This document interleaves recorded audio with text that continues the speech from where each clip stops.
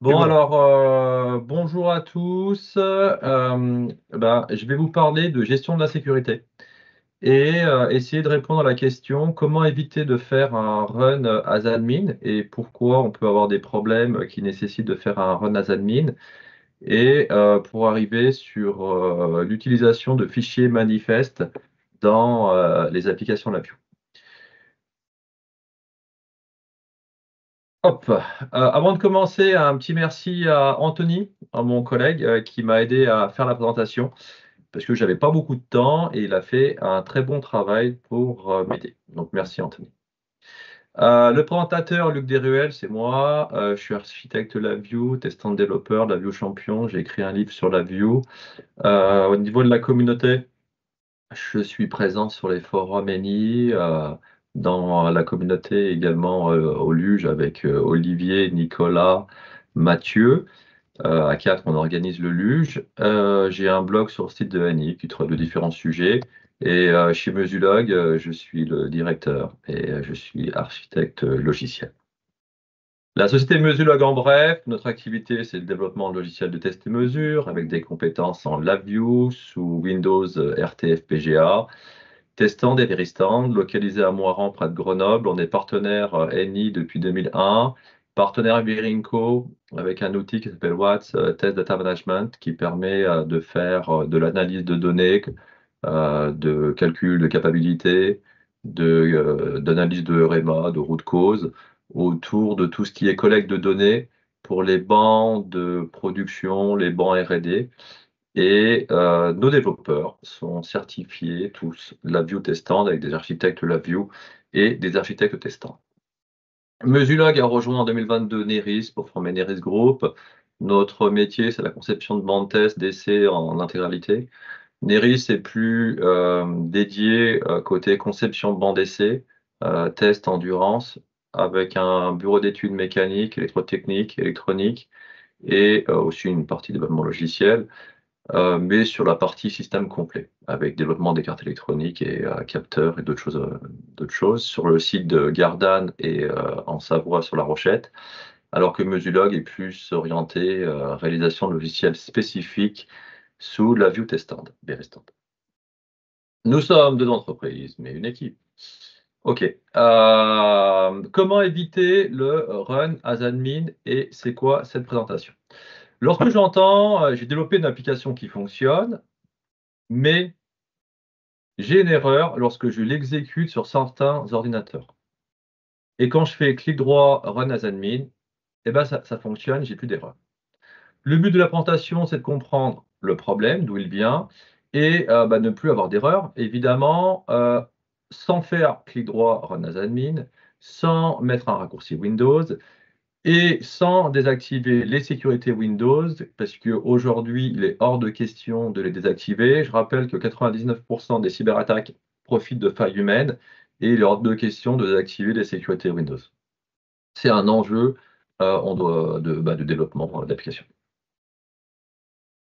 Éviter euh, le run as admin, les raisons. Alors, elles sont multiples, hein, on ne peut pas toutes les évoquer, mais les principales, c'est modification de la gestion entre deux ordinateurs, et euh, une application tente un accès à des dossiers système ou à des fonctionnalités qui sont protégées par le système.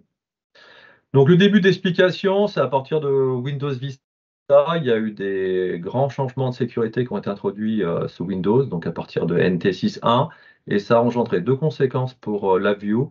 C'est un manifeste d'application est intégré dans les applications et les installeurs. Et un deuxième point, c'est les applications et installeurs développés sous la view ne sont pas signés. On verra les conséquences. Donc j'ai fait un petit exemple de code euh, dans lequel euh, j'ai un utilisateur qui a les droits sous Windows euh, de faire des actions, mais avec son application LabVIEW, on va voir qu'il n'arrive pas à, réaliser l'action. Donc voilà le petit code. J'utilise le VI de NI qui s'appelle Get System Directory qui va me permettre de récupérer des chemins euh, système. Donc là, j'ai le home, le desktop, euh, le, enfin, le, euh, le, dossier temporaire, le dossier d'application et d'autres. Il y en a 14 comme ça. Et je vais essayer de créer un fichier test à l'intérieur. Quand j'exécute mon VI, j'en ai les quatre premiers qui sont passés et les quatre derniers qui sont en erreur. Et c'est une erreur, si on fait un petit clic droit et qu'on lui demande l'explication, il nous dit bah, je n'ai pas la permission. Pourtant, si je vais dans l'explorateur, sous la racine du C, je peux créer le fichier. On va essayer de répondre pourquoi et comment améliorer ça. Ah, donc le problème, il provient de ce qu'on appelle l'UAC. L'UAC, c'est quoi? C'est euh, User Access Control, c'est le contrôle de compte utilisateur en français sous Windows. C'est une fonctionnalité de Windows de sécurité dont le but est de protéger contre les modifications non autorisées. Et lorsque euh, des modifications apportées au système nécessitent une autorisation de niveau administrateur, l'UAC va informer euh, l'utilisateur qu'il y a une action. À ce moment-là, l'UAC donne la possibilité d'accepter, on parle d'approuver, de consentement, ou de refuser la modification. Dans ce cas, euh, l'action s'arrête. La finalité, c'est que ça améliore la sécurité des appareils Windows, puisqu'un administrateur n'a pas forcément le droit de faire, lorsqu'il, au travers d'une application qui est lancée, malgré le fait qu'il ait le droit de le faire directement dans l'explorateur. Je, redétaillerai un petit peu ça après. Et ça permet de limiter l'accès euh, dont dispose le code malveillant pour s'exécuter Malveillant, on peut l'enlever, ce mot. À la base, c'était pour éviter la propagation des virus, mais dans le cas d'application, c'est aussi pour éviter de faire n'importe quoi. Ou par exemple, il y a un bug, quelqu'un arrive dans le dossier système et il a coché bah, nettoyer le dossier système, et bon, ça évite de tout supprimer. Euh, comment ça fonctionne? Donc, les applications ont un niveau d'exécution. On va distinguer les droits de l'utilisateur et le niveau d'exécution des applications. Microsoft recommande par défaut le niveau euh, as, et euh, c'est le niveau d'exécution par défaut des applications qui sont construites euh, en LabVIEW. C'est-à-dire que une application qui va démarrer avec le niveau as Invoker, elles, elles sont démarrées par le biais d'un jeton d'utilisateur standard. C'est-à-dire qu'elles ne peuvent pas exécuter des tâches administrateurs, elles ne peuvent exécuter que des tâches d'un utilisateur standard. La plupart des applications fonctionnent très bien comme ça, sauf pour écrire dans les dossiers système, les dossiers protégés, les dossiers sensibles de Windows. Dans ce cas-là, ils sont en lecture seule. Par exemple, programme file, la racine du, euh, C. Pour accéder à des paramètres système, modifier par exemple les IP, ça c'est interdit. Également euh, tout ce qui est accès à la base de registre. Si une action nécessite des privilèges administrateurs, on va avoir les applications de l'OS qui vont ouvrir une boîte de dialogue qu'on appelle donc l'invite de consentement de l'UAC. Et euh, si on valide, ça va permettre alors d'exécuter l'application en niveau administrateur. Pour une, pour une, application qui est développée sous LabVIEW, euh, comme on démarre en mode as invoker, on a une erreur. Ça ne marche pas. Pour gérer ce niveau euh, d'exécution, il existe le fichier manifeste, avec une belle faute d'orthographe dans le titre où il y a un S en trop apparemment. Euh, donc, il existe un manifeste d'application. C'est un fichier de type XML, donc c'est euh, des, métadonnées, qui va être soit contenu, euh, ce fichier XML, à côté de l'exé, donc on le voit, soit il est directement incorporé dans l'exécutable. C'est le cas d'une application sous LabVIEW ou dans une application LabVIEW, le fichier manifeste est intégré directement dans l'exécutable lors de la génération de l'exécutable.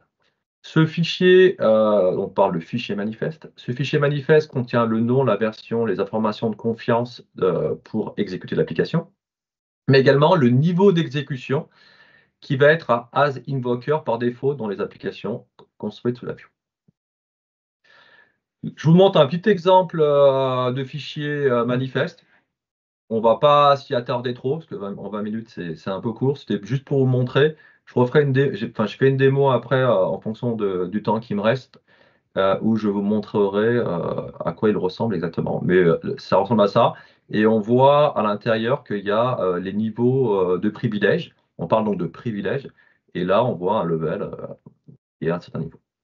Il y a trois niveaux d'exécution de niveau, euh, trois niveaux de niveau, oui, ok. Euh, il y a le as invoker dont je viens de parler. C'est l'application, elle n'affiche pas de boîte de dialogue au démarrage.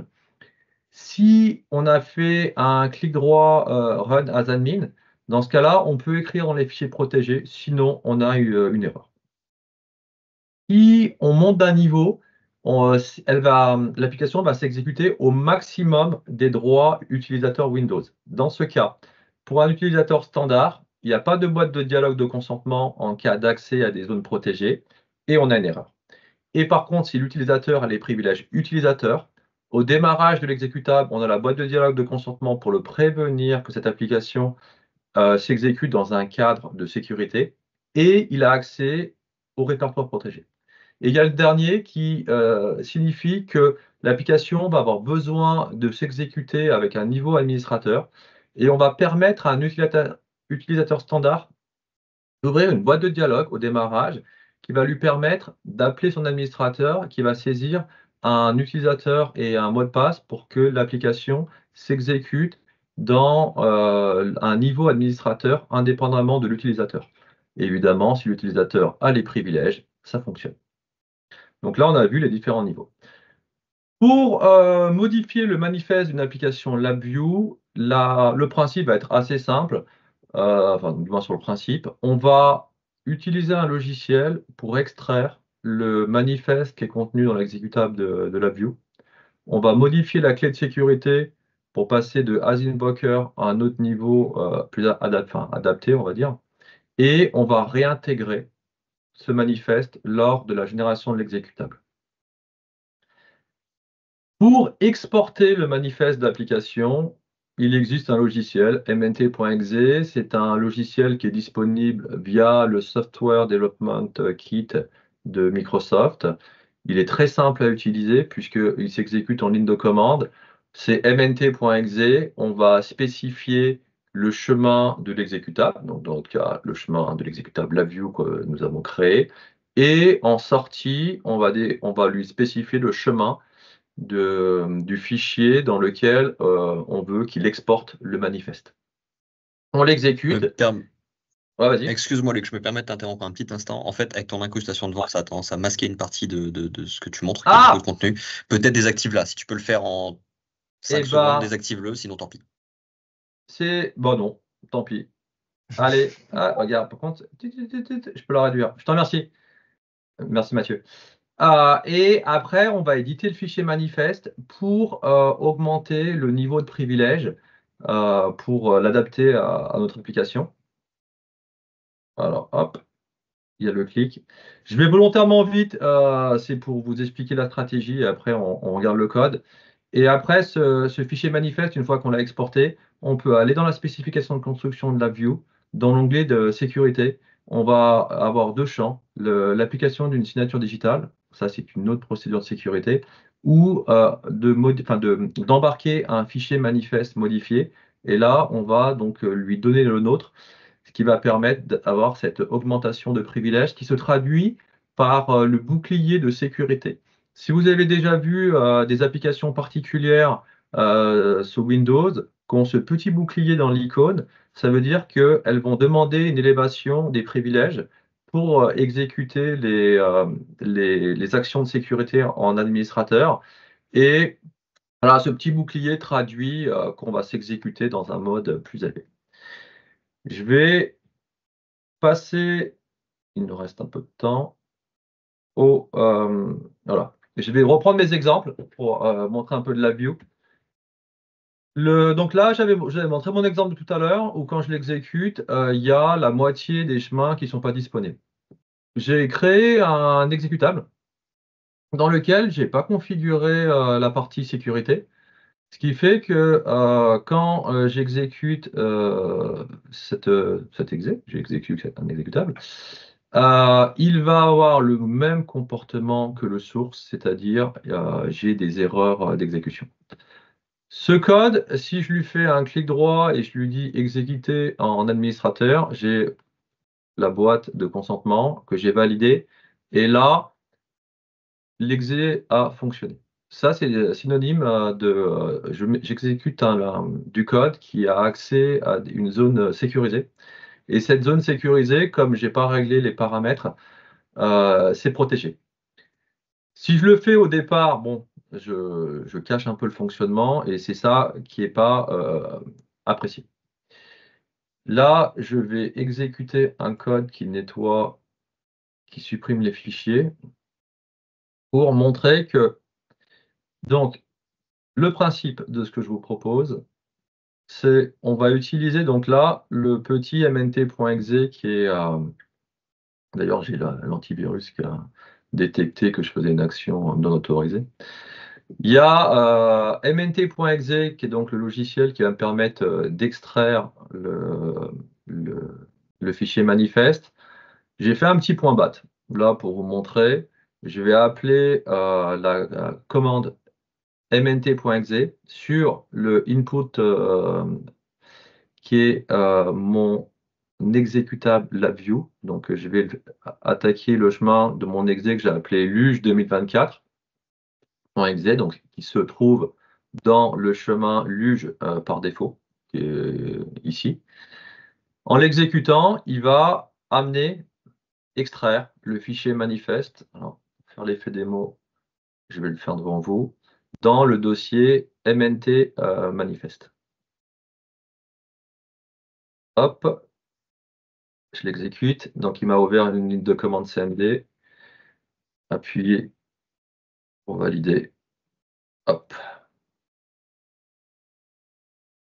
OK. Et le fichier est arrivé, donc on a l'effet démo euh, qui est qui n'est pas arrivé, que ça marche, c'est très bien. Et si je regarde, donc là, ça c'était dans le fichier, c'était dans l'exécutable, ça a extrait le fichier manifeste de l'exécutable. Et si je regarde ce qu'il y a dedans, on voit euh, des informations liées eh ben, c'est un logiciel euh, LabVIEW hein, euh, qui est ici. Il a, des, il a été fait à partir d'un LabVIEW Development System. OK. J'ai d'autres informations à l'intérieur sur euh, l'exécution. Et il y a une clé qui est celle qui m'intéresse, c'est celle-ci. C'est, alors je ne sais pas si vous voyez bien, je vais séparer l'XML voilà, pour bien le voir, où on a, on a la clé du niveau d'exécution. Cette clé, je vais la modifier. Donc là, c'est juste pour vous montrer par euh, dans un autre à quoi elle va ressembler.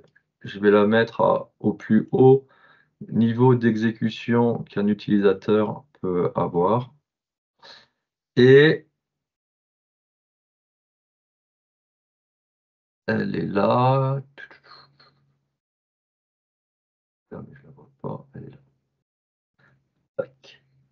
OK. Donc là, je l'ai passé à la clé euh, pour euh, lui signifier euh, exécute l'application dans le plus haut niveau qui correspond au droit Windows de l'utilisateur. Donc là, une fois que j'ai modifié mon fichier, je vais faire une spécification de construction. Dans lequel, euh, au niveau des Windows, euh, des sécurités Windows, je vais lui dire embarque le fichier manifeste, qui est ce nouveau fichier manifeste, et ne prend plus celui par défaut. Lorsqu'il va créer l'application LabVIEW, on voit qu'il y a un bouclier qui est apparu par rapport à tout à l'heure. Et dans ce mode-là, qui est le mode attendu, quand je démarre, il me prévient que euh, j'ai demandé l'élévation maximale et l'application s'exécute du coup sans aucun problème. Alors j'ai quand même une zone là qui est euh, encore, euh, alors je l'ai laissé pour faire, euh, pour montrer. Il y a au niveau de l'antivirus une zone qui est encore protégée, mais qui est sur lequel je ne lui ai pas donné le droit d'accéder sans que l'antivirus m'en informe. Eh bien écoutez, je suis à peu près dans les temps. J'ai fait le tour. Est-ce qu'il y a des questions?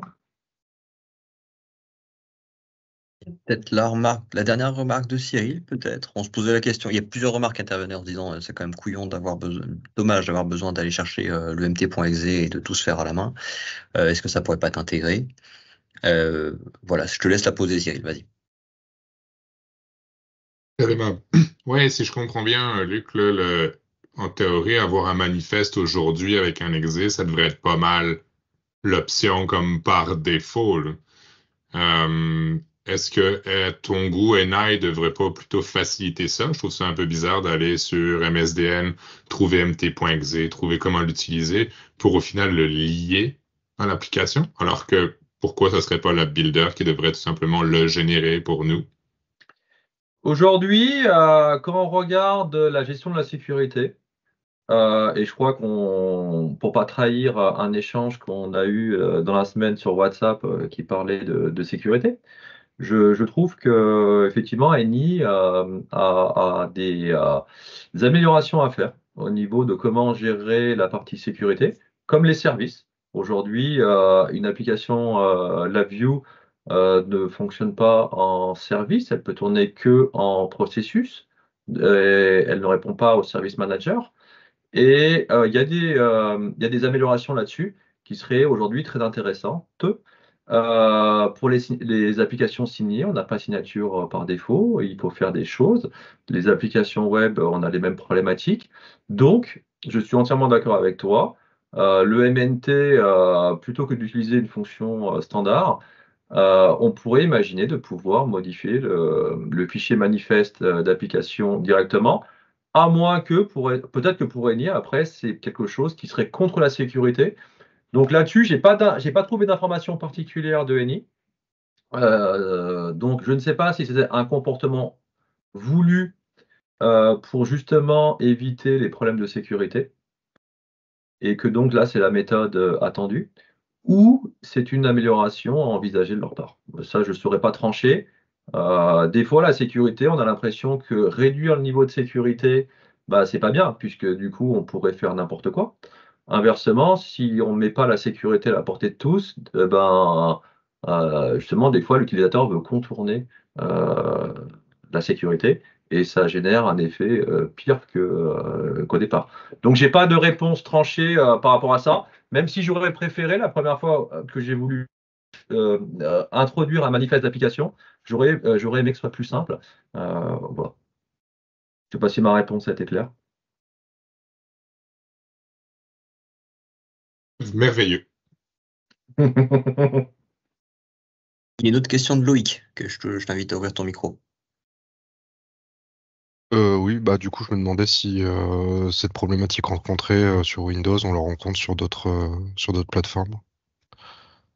Alors là, le manifeste d'application, il est clairement pour répondre à une gestion de, des droits, enfin de, l'UAC de, Windows. Donc, la problématique de la sécurité, on les a dans tous les environnements, enfin dans tous les OS, évidemment.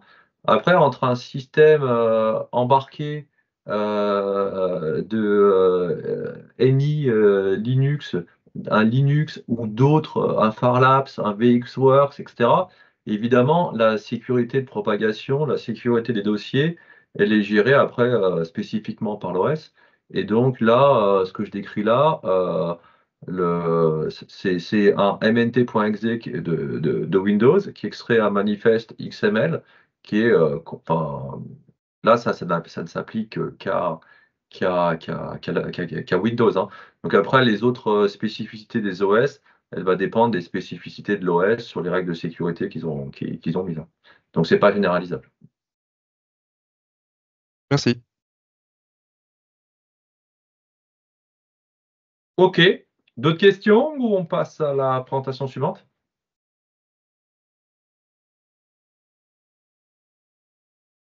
Mathieu? Euh, Je ne vois pas d'autres questions. Voilà. Désolé, eh ben, je, t'ai pris la main. Euh, peut-être une petite question, euh, Luc, c'est Mathias. Oui, vas-y, Mathias. Tu mentionnais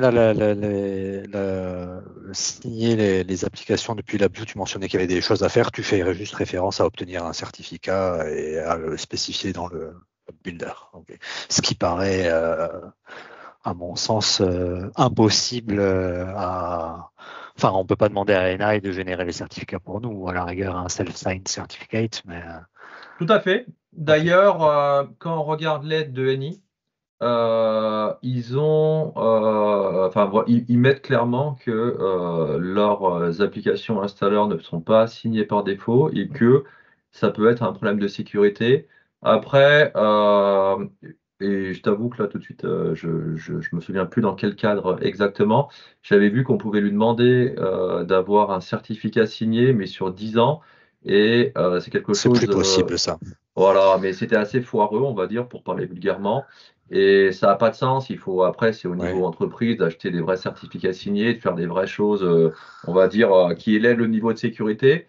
Et pour aller un peu plus loin dans ta remarque, je pense qu'il y a un package. Euh, là, le manifeste, euh, c'est un peu le, le premier niveau euh, pour être un peu standard. Après, il y a euh, tout ce qui est, euh, enfin, à mon niveau, euh, gérer au niveau des services pour que donner des droits au niveau du fonctionnement par les administrateurs. Et après, il faudrait aller vers les signatures, des, voilà, des, des, des, des choses un peu plus élevées. Oui. Voilà. Les signatures des PPL, ça c'est quelque chose qui manque beaucoup à mon sens. Et j'ai pas eu encore euh, la chance ou la malchance d'y faire face parce que mes certificats sont encore valides. Mais j'ai cru comprendre que depuis récemment, il ne- il n'est plus possible, il n'est plus autorisé de euh, stocker la clé privée d'un code signing certificate sur une machine. Il va falloir le stocker absolument sur un hardware euh, cryptographique key. Euh, ce qui veut dire que à chaque fois que tu builds et que tu veux signer ton exécutable, il faudra avoir la clé insérée dans l'ordinateur, ce qui pour moi va poser d'énormes problèmes pour des serveurs de build qui sont hébergés dans le cloud et des choses comme ça. Donc j'ai pas eu encore euh, la chance d'aller jusque là, mais je pense que ça va poser des gros problèmes et que Anna il va devoir s'adapter d'une manière ou d'une autre. Il y a, il y a un, il y aura un défi. Il suffit de regarder le nombre d'attaques euh, qu'il y a en ce moment. À chaque fois que j'ouvre mon poste, euh, j'entends qu'il y a une, une nouvelle attaque. Euh, à midi, j'entendais qu'il y avait, euh, c'était, ils avaient sorti 47 millions de, France de, Travail, ouais. de, de données. Voilà, c'est ça. La veille, c'était ben, les mutuelles. La veille, c'était mardi, c'était une attaque au niveau des ministères.